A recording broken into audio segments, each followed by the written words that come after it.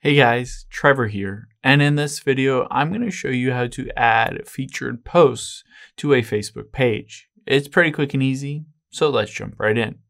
Now I'm on my iPhone, I'm going to open up the Facebook app here. You can do the same steps on Android or a computer.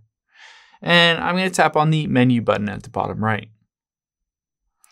You can see at the top left, see your profile. So I have a personal profile. I need to switch over to that page.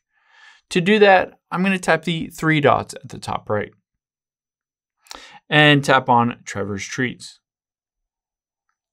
Now we are in the uh, Facebook page here. We're going to tap menu at the bottom right.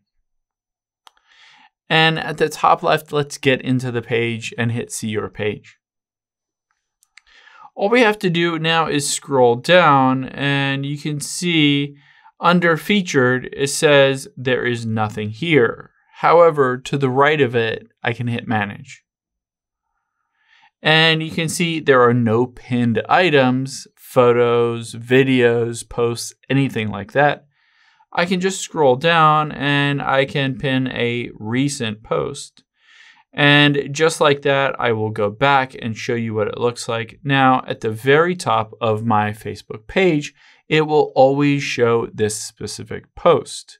I can always go in and modify it. I can add new ones. I can remove old ones, any of that stuff.